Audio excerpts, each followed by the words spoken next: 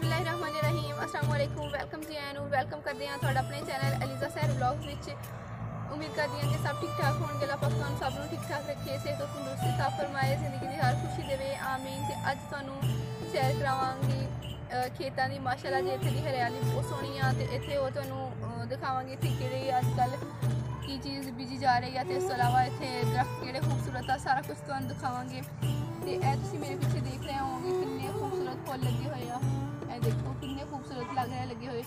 दरख्त भी माशाला बहुत ही खूबसूरत आ फुलों का भरया हुआ वा तो ये मैं थोड़ा दस दी हाँ कि, ये जोड़ा दरख्त है, ये आड़ूओं का दरख्त आ माशाला बहुत ही खूबसूरत आ तो आड़ू लगने इस वजह तो इन्होंने फूल लगे हुए माशाला फूल फूल लगे हुए बहुत ही प्यारे लग रहा है।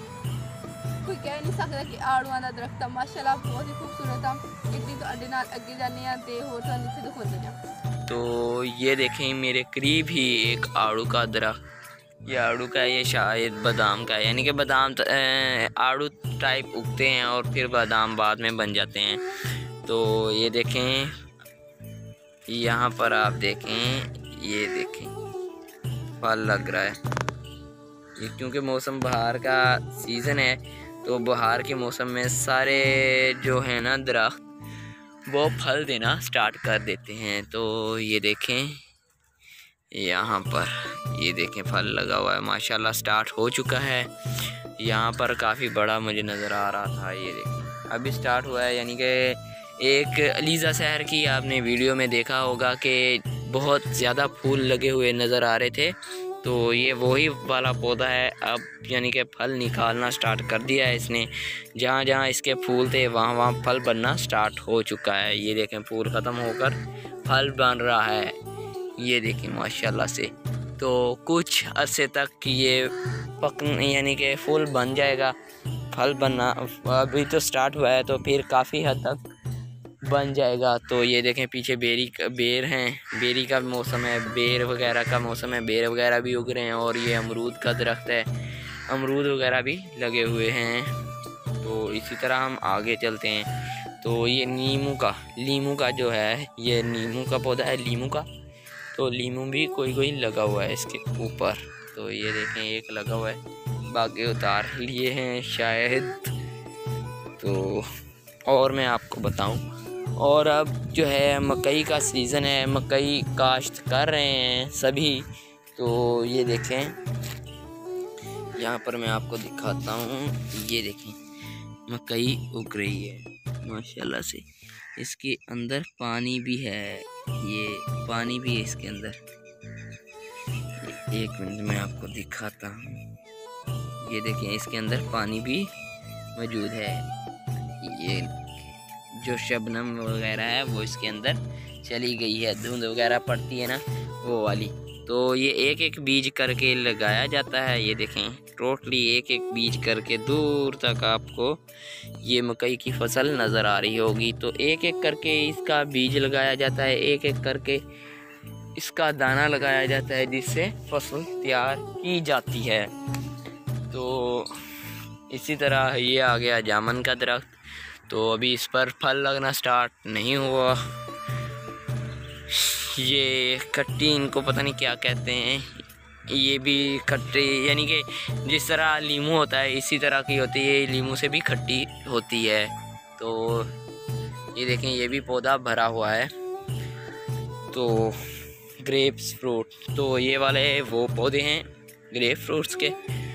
ये जो आपको नज़र आ रहे हैं तो इस पर मुझे एक मिनट में देखता हूँ और आपको दिखाता भी हूँ। अगर फल लगना स्टार्ट हुआ है तो जी माशाल्लाह, ये देखें, इस पर भी फल लगना स्टार्ट हो चुका है, ये देखें।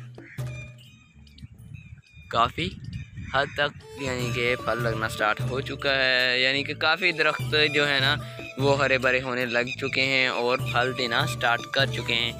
तो ये शतूत वगैरह आ गया, शतूत का दरख्त और ये देखें, अभी स्टूद बनना भी स्टार्ट हो चुके हैं। अभी इनमें पानी नहीं है, पानी मौजूद नहीं है इनमें, ये देखें। यानी कि बाहर का मौसम है तो सारे ही पौधे फल देना स्टार्ट करने लग चुके हैं। सारे पौधे जो हैं, फल दे रहे हैं। और ये देखें, ये भी स्टूद नहीं, ये टाली का टाली का दरख्त है। टाली है ये, टाली।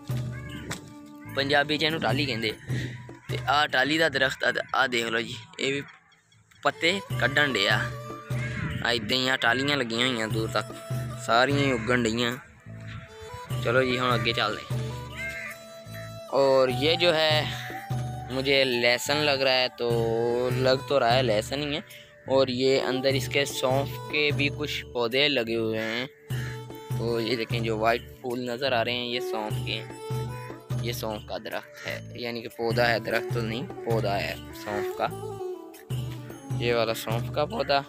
यहाँ जो है गंदम वगैरह काश्त की गई है, वो भी मैं आपको दिखाता हूँ। ये तो गंदम है। बीच बीच में इसके कोई और भी चीज़ निकली हुई है, यानी कि मिक्स वगैरह हो चुकी हैं। कुछ सट्टे, सिट्टे जो हैं मुझे गंदम के भी नज़र आए थे। ये पता नहीं किस चीज़ का पौधा है, या नीम का है। नीम का मुझे लग रहा है, नीम का होगा या किसी और कोई और पौधा होगा। तो ये देखें, ये भी उगना स्टार्ट हो चुका है और ये मकई देखें आप, यहाँ पर भी मकई के पौधे लगे हुए हैं, यानी कि निकल रहे हैं। कोई कोई पौधा निकल रहा है, माशाल्लाह से। काफ़ी रौनक हो रही है दरख्तों पर। जो खुश्क हो चुके थे, सूखे हुए दरख्त थे, वो भी हरे भरे होने लग गए हैं, माशाल्लाह से। तो ये देखें यहाँ फिर आड़ू का दरख्त आ चुका है, फिर आगे अमरूद का जो है छोटा सा पौधा कह लें या दरख्त कह लें, वो भी है। यहाँ लहसुन भी लगाया गया है। ये देखें, यहाँ पर भी लहसुन लगाया है। और आगे चलते हैं। ये देखें, लहसुन भी है, मूलियाँ वगैरह भी लगाई गई हैं। तो ये जो है, ये राया है तो राया भी पक रहा है। कुछ देर तक, यानी कि गंदम से पहले राय राय की फ़सल काट हो जाएगी। यानी कि पकेगा तो फिर इसकी फ़सल काट हो जाएगी। तो इसी तरह हम आगे चलते हैं। चलें जी, आगे चलते हैं। तो यहाँ भी आप देखें अंदर अंदर कुछ कुछ सौंफ के पौधे आपको नज़र आ रहे होंगे। तो ये देखें, यहाँ पर भी सौंफ है, यहाँ सौंफ ही है। तो ये बरसीन, जवी वगैरह मिक्स लगाई गई है राया भी है इसके अंदर। तो ये मिक्स लगाई गई है। जवी जवी भी है। क्या कहा था और एक और चीज़ का नाम नाम लिया था, याद भूल गया। तो वो भी, यानी कि तीन तीन चीज़ें इकट्ठी लगी हुई हैं, यानी कि जानवरों का, जो खाने के लिए तीन चीज़ें इकट्ठी लगाई गई हैं। और ये देखें, यहाँ पर कुछ खुश्क होना स्टार्ट हो चुके हैं, ये पक रहे हैं। अभी इसके बीज काफ़ी मोटे हो चुके होंगे। यानी कि पहले बरीक सी एक निकलती है शाख सी तो फिर काफ़ी हद तक बढ़ जाते हैं पौधे। तो अब बहुत ज़्यादा, माशाल्लाह के मकई का सीज़न है तो काफ़ी हद तक जो है वो फ़सल मकई की काश्त हो रही है। तो ये देखें मेरे पास सूंगरे हैं। ये सूंगरे हैं। मूंगरों के बाद सूंगरे। यानी कि लंबे लंबे होते हैं ये। मूंगरे छोटे छोटे होते हैं, सूंगरे जो होते हैं लंबे लंबे होते हैं। मूंगरे, सूंगरे। ठीक है? ये सूंगरे थे। तो इसी तरह हम आगे चलते हैं। चले, चलते हैं। तो आहिस्ता आहिस्ता हम आगे जा रहे हैं। तो अब मैं फ़सलों से घूम फिर कर बाहर आ चुका हूँ। तो ये देखें, यहाँ पर भी जो है, लगाई हुई है मकई। तो अभी ये छोटे पौधे हैं, अभी उग रहे हैं। ये देखें, निकल रहा है पौधा। तो ये भी मकई है। यानी कि मैंने बताया था ना आपको कि मकई की फ़सल बहुत ज़्यादा काश्त हो रही है। तो माशाल्लाह से फिर ये आड़ू का दरख्त आ चुका है और जैसा कि मैंने आपको कहा था कि आमों का सीज़न आ चुका है तो ये देखें, आम के दरख्त पर बूर लगना स्टार्ट हो चुका है। तो कुछ देर तक छोटे छोटे आम बनना स्टार्ट होंगे। तो फिर यानी कि इमलियाँ भी उन्हें कहते हैं, अम्बियाँ भी कहते हैं, इस तरह नेम लिए जाते हैं उनके। तो वो बनेंगी तो वो कुछ खाते भी हैं खट्टे मीठे से खट्टे खट्टे से होते हैं ज़्यादातर। तो ये देखें, काफ़ी फल लगा हुआ है, इस पर बूर लग रहा है। तो काफ़ी फल देगा इन यानी कि एक दरख्त काफ़ी फल देता है। तो उम्मीद करता हूँ कि आज का व्लॉग आपको जो है अच्छा लगा होगा, जो घूम फिर कर बनाया है हमने। तो इन्जॉय किया होगा, चीज़ों के बारे में कुछ इन्फॉर्मेशन दी है, वो भी आपने इन्जॉय की होगी। तो अगर वीडियो अच्छी लगी है तो लाइक करें शेयर करें वीडियो को, और कमेंट में ज़रूर बताएँ कि आज की वीडियो आपके लिए कैसी लगी और कैसी इन्फॉर्मेशन थी इसमें? तो इजाज़त दें मुझे, मिलता हूँ इसी तरह की अच्छी अच्छी वीडियोस के साथ। अल्लाह हाफिज़।